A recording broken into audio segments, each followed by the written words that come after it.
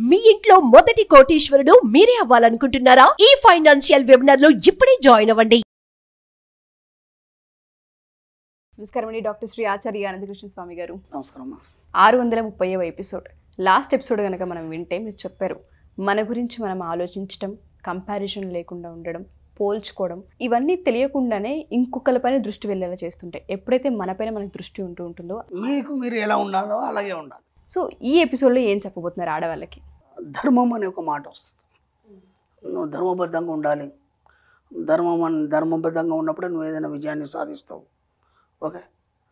ఇట్లాంటి బోలెడు చెప్పుకుంటాం మన పురాణాల్లో కానీ ఇతిహాసాల్లో కానీ అసలు ధర్మం అంటే ఏంటి? ఒక మాట మనం మాట్లాడుకుంటే ధర్మానికి సరైన నిర్వచనం ఇప్పటిదాకా ఎవరు చెప్పలేదు. ఎందుకు చెప్పలేదంటే ధర్మం అనేది ఆయా కాలం మన పరిస్థితులను బట్టి మారుతుంటుంది. చలిపెడుతుంది. దుప్పటి కప్పుకోవాలి. లేకపోతే చచ్చిపోతారు లేదా మొత్తం కట్టడి చచ్చిపోతారు. అది అలా ఎలా అంటే ఆయా కాలం మన పరిస్థితులను బట్టి ధర్మం మారుతుంది. ఓకేనా? ఇప్పుడు మనకి రాముడి కాలంకి వచ్చేసరికంటే ఏకపత్ని వ్రతం. అదే మనం ద్వాపరానికి వచ్చేసరికంటే అంతమంది భార్యలు ఇవన్నీ మనం విమర్శిస్తుంటాం. అంటే మనకి ఎట్లా ఉంటుందంటే ఏది పూర్తిగా తెలియదు ఏది పూర్తిగా తెలియదు అది చెప్పేవాడన్నా సంపూర్ణంగా చెప్తాడంటే ఈ యొక్క అరకొర మనుషులు తప్ప గొప్పవాళ్ళు తప్ప చెప్పేవాళ్ళు ఇంకెవరు లేరు. పోనీ వాళ్ళు చెప్పినా మనకు వినేంత టైం లేదు ఓపిక లేదు. దీంతో ఏమవుతుందంటే అన్ని సగం సగం వినేసి ఇదే నిజం అనుకొని ఆ యొక్క భ్రమలో మన జీవితానికి సాకూరు సాగిస్తుంటాం అర్థమైందా? ఏది పూర్తిగా వినము. అలాగని చెప్పి కనీసం అది విన్న తర్వాత దాని వైపు మనం ప్రయాణం చేయం అంటే పరిశోధించాం పరిశీలించాం. అలాంటప్పుడు ఏమవుతుందంటే జీవితంలో అన్నీ కూడా సంపూర్ణత్వం లేకుండా సగం సగంగానే మీ జీవితంలో అన్ని ప్రసాదించబడతాయి. కాబట్టి ఇక్కడ మనం ధర్మం గురించి చెప్పుకుంటున్నాం. ధర్మం అంటే ఏంటి అంటే ఆయా కాలమాన పరిస్థితులను బట్టి ధర్మం మారుతుంది అని అనుకున్నప్పుడు మన సబ్జెక్ట్లోకి వచ్చేసరికి ధర్మం అనే దానికి మనం సరైన నిర్వచనం ఏమి ఇస్తున్నామంటే నీకు ఏదైతే అనిపిస్తుందో అది చేయడంలో పక్కవాడికి కానీ ఇతరులకు కానీ ఇబ్బంది లేకుండా నువ్వు నడుచుకోవడమే ధర్మం మన సబ్జెక్ట్లో. అది ఏదైనా కావచ్చు. మన సబ్జెక్ట్లో మనం ఎన్నోసార్లు చెప్పినాం ప్రకృతికి పక్కవాడికి ఇబ్బంది పెట్టదు పెట్టకుండా నీకు ఏదైతే అనిపిస్తుందో అది చేయడమే ధర్మం అంతే. అర్థమైందా? కండిషన్ మాత్రం ఇవి రెండు ఓకేనా? కాబట్టి ఎప్పుడైనా సరే మనం ధర్మం గురించి ఆలోచించినప్పుడు ఎప్పుడు కూడా దాని మీద చర్చ చేయకండి. ఎందుకంటే మనకి ఎన్నో అనుమానాలుగా ఉంటుంది. మన జీవితం ఎప్పుడు కూడా ఏంటంటే అనుమానాలతో కూడుకొని మన జీవితాన్ని కొనసాగిస్తుంటాం. ఇది ఇలా చేయచ్చా చేయరాదా? చేస్తే తప్ప కాదా? ఇప్పుడు నేను మన సబ్జెక్ట్లోకి వచ్చిన తర్వాత బోలెడ్ చెప్తుంటాను నేను. మీరు ఇలా ప్రవర్తించాలి. ఇంతకుముందు కూడాను నీకు నువ్వులాగా ఉండడం. అది ధర్మమే. నీకు నువ్వులా ఉండడమే ధర్మం. ఎందుకంటే నువ్వు ఎవరు జోలికి పోవట్లేదు ఎవరికి ఇబ్బంది పెట్టట్లేదు ఎవరిని విమర్శించట్లేదు. అది ధర్మమే కదా. అవునా కదా? అలా మనం ఏమనుకుంటామంటే నేను కరెక్ట్ ఉన్నానా లేదా? లేకపోతే నేను కరెక్ట్ చేస్తున్నానా లేదా? ఈ చేయడం ఏమైనా పొరపాట్లు జరుగుతున్నాయా లేదా? ఇది ధర్మబద్ధమేనా? మీకు పెద్ద వేదాంతం తెలీదు పెద్ద శాస్త్రం తెలీదు ఏమీ లేకపోయినా ఈ మాట మాత్రం మనం ప్రతి దగ్గర తీసుకుంటాం మనం. ప్రతి దగ్గర తీసుకొని గొప్ప గొప్ప వాక్యాలు దానికి ఉపయోగిస్తాం. కాబట్టి దానికి మనం అర్హులమా కాదా? అంత గొప్ప వాక్యాన్ని మనం తీసుకొని దానికి అర్హులా కాదా మనకు తెలియదు. కాబట్టి ప్రతిదానికి ఈ దాన్ని మనం జోడించి మన జీవితాన్ని చిన్నగా చేసుకోకండి. అర్థమైంది? అది చాలా గొప్ప పదం. మీకు చాలా ఈజీ పదం. నేను చెప్పిన ప్రకారం మాత్రం చాలా ఈజీ అది. ఇక్కడ ప్రతిదానికి మనం మనం అనుమానం పడుతున్నాం ఇప్పుడు నేను ఒకటి చేయమని చెప్పాను. నేను మెడిటేషన్ చేయమని చెప్తాను. ఇరవై నిమిషాలు చేయమని చెప్తాను. ఇరవై నిమిషాల కంటే ఎక్కువ చేయను.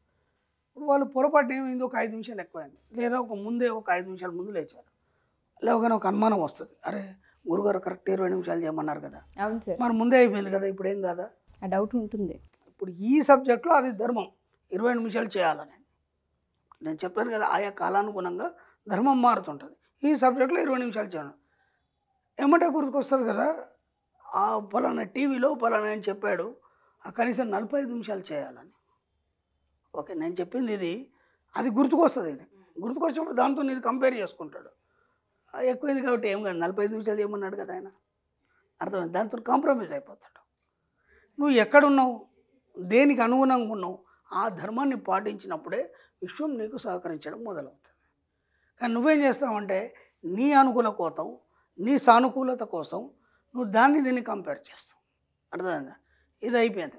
డబ్బు సంపద ఐశ్వర్యం గురించి నేను కొన్ని సూచనలు ఇచ్చాను. అలాగే ఎన్నో మీకు అఫర్మేషన్స్ ఇచ్చాను. అఫర్మేషన్ చేసేటప్పుడు ఒక పదం దొరుకుతుంది లేదంటే ఒక దాన్ని మర్చిపోతాం. అయ్యో ఇది ఇలా అయింది కాబట్టి అది కాలేదేమో. లేదా ఇది రెండుసార్లు చెప్పాను కాబట్టి ఇలా అయిందేమో. నీకు నువ్వే దాన్ని నిర్ణయించుకోవడం. అర్థమైంది? దాంట్లో ఇది ధర్మబద్ధంగా చేశానా లేదా? మళ్ళీ ఒక ఆలోచన దానికి. ధర్మబద్ధంగా చేశానా లేదా? చేయలేదు కాబట్టి నాకు ఇలా చెడు జరిగింది ఏమో అర్థమైందా? నేను మన సబ్జెక్టులో ఎన్నోసార్లు చెప్పాను ఎలాంటి అనుమానాన్ని ముందు తీసేయండి. ఇది ఇలాగే చేయాలి అది అలాగే చేయాలి ఇది ఇలాగే ఉండాలి అలాంటిది ఏం లేదు మన సబ్జెక్ట్లో. మీకు ఎలా ఉండాలనుకుంటే అలా ఉండండి మీకు ఏం చేయాలనుకుంటే అది చేయండి. ఏది తప్పు కాదు ఏది ఒప్పు కాదు. అర్థమైందా? మన సబ్జెక్ట్లో మంచి చెడు అంటూ ఏమీ లేవు. అర్థమైంది? ఎందుకంటే మన సుప్త చేతన మనసుకి మంచి చెడు అనేది తెలియదు అర్థమైందా? విశ్వానికి మంచి చెడు అనేది తెలియదు అర్థమైందా? మరి మంచి చెడు లేకపోతే మరి పరిస్థితులు ఎలా? అంటే నీ ఆలోచన విధానం మంచిగా ఉంటే మంచి చేస్తుంది చెడు ఉంటే చెడు చేస్తుంది. అంతే సింపుల్. అంటే నువ్వు ఇలా ఉన్నావు ఈ కారణం ఏంటి? నీ జీవితానికి అన్నప్పుడు దానికి నీ యొక్క ఆలోచన విధానమే నిన్న అలా తయారు చేసింది తప్ప విశ్వాన్ని తప్పు పట్టడానికి లేదు ధర్మాన్ని తప్పు పట్టడానికి లేదు. అర్థమవుతుందా? కాబట్టి ఎక్కడైనా సరే ఇలాంటి పదాలు వాడే ముందు వాటన్నిటిని మీరు త్యజించండి. ఎందుకంటే దానికి మనకి జీవితానికి సంబంధం లేదు. అర్థమైందా? కాబట్టి విశ్వంతోనే కనెక్ట్ అయినప్పుడు ఈ సబ్జెక్టులోకి రావాలన్నప్పుడు ఎలాంటి తప్పులు మీకు ఎలా ఉండాలనుకుంటే అలా ఉండండి ఏం చేయాలనుకుంటే అది చేయండి. రెండు కండిషన్లు మనం ప్రకృతి పక్కవాడికి ఇబ్బంది పెట్టుకుంటే అదే ధర్మం. సో ఈ ఎపిసోడ్లో చిట్కా ఏదైనా ఆడవాళ్ళకి? ఆ, మీరు రోజు చెట్లకు నీళ్ళు పోస్తారు కదమ్మా. చెట్లు అంటే బాగా ప్రేమిస్తారు కదా ఆడవాళ్ళు. పువ్వులు చెట్లు ఇవన్నీ చేస్తారు కదా. ఇంతకుముందు కూడా మనం చెప్పుకున్నాం దీన్ని చిట్కా కింద ఇప్పుడు మళ్ళీ మనం చెప్పుకుంటున్నాం. అప్పుడు సబ్జెక్ట్ కింద చెప్పుకున్నాం. సబ్జెక్ట్ కింద చెప్పుకున్నప్పుడు అవి ఎక్కువ గుర్తుండయి. ఎందుకంటే నేను ఇంత పెద్ద సబ్జెక్ట్ ఇచ్చాను గతంలో. చివరిలో చిట్టి తంత్రాలు ఏవైతే చెప్పానో అవే ఎక్కువ మంది పట్టుకున్నారు. దాంతో నాకు భయం అయింది. ఎందుకంటే ఆ తంత్ర మార్గం తంత్ర మార్గంలో నాకు తెలిసి గతంలో తాంత్రికుడు కొన్ని చెప్పాను. ఈ చిట్కాలు మాత్రం తంత్రాలు కావు. ఇది బాగా గుర్తుంచుకోండి. ఇది కేవలం మన సబ్జెక్టే. కాబట్టి ఇప్పుడు నాకు ప్రాబ్లం లేదు వాళ్ళకు ప్రాబ్లం లేదు. కాబట్టి ఈ చిట్కాలు ఎక్కువ పట్టుకుంటారు ఇప్పుడు. ఈ సబ్జెక్ట్ ఇప్పటిదాకా కిందదంతా పక్కన పెట్టేసి ఇవే పట్టుకుంటారు. ఆయన పర్లేదు వీటితోనే సరే వారికి డబ్బు సంపద వస్తుంది కాబట్టి మనం మార్చాం. తంత్రాల నుంచి ఈ సబ్జెక్టు చిట్టాలకు మార్చాం. రోజు నీళ్ళు పోస్తుంటారు చెట్లకి. చెట్లను బాగా ప్రేమిస్తుంటారు. ఆ నీళ్ళు పోసేటప్పుడు మనసులో చెప్పుకోండి ఈ యొక్క చెట్లు ఎలాగైతే వృద్ధి చెందుతున్నాయో అలాగే మా యొక్క కుటుంబంలో డబ్బు సంపద ఐశ్వర్యం కూడా ఈ చెట్లలాగే ఇవి ఎలా ఎలా పెరుగుతుంటే అలా అలా వృద్ధి చెందుతున్నాయి అని ఫీల్ అవుతూ ప్రతిరోజు వాటికి నీళ్ళు పోయండి. నిజంగా కూడా అవి ఎలా అయితే ఎదుగుతాయో అలాగే మీ యొక్క జీవితంలో మార్పులు వచ్చి మీ యొక్క కుటుంబం కూడా డబ్బు సంపద ఐశ్వర్యంతో ఎదగడం జరుగుతుంది. తప్పకుండా సార్. వండర్ఫుల్. చాలా మందికి హెల్ప్ అయ్యే సబ్జెక్ట్ ఇది. ఎంటర్ప్రినర్గా బయటికి రావాలనుకున్న ఆడవాళ్ళందరికీ కూడా మీ చిట్కాలు కావచ్చు మీ ఎపిసోడ్స్ కావచ్చు చాలా బలాన్ని ఇస్తూ ఉంటుంటాయి. Wonderful sir. సో చాలా మంది పర్సనల్గా క్లాసెస్కి రావాలని ఎదురు చూస్తూ ఉంటుంటారు సార్. వాళ్ళ కోసం క్లాసెస్ ఎక్కడ నిర్వహించబోతున్నారు? ఈ మధ్య కాలంలో ఏ క్లాసెస్ ఉండబోతూ ఉన్నాయి మనకి ఇప్పుడు ఈ రెండు వేల ఇరవై నాలుగు అమ్మ సిక్స్టీన్త్ జూన్ పదహారు జూన్ మనకి హైదరాబాద్లో ఉంటుంది. ఓకే. అలాగే ఇరవై మూడు జూన్ మనకి విశాఖపట్నంలో ఉంటుందమ్మా అలాగే ముప్పై జూన్ వచ్చి తిరుపతిలో ఉంటుంది. ఆ, ఏడు జూలై వచ్చి రాజమండ్రిలో ఉంటుంది.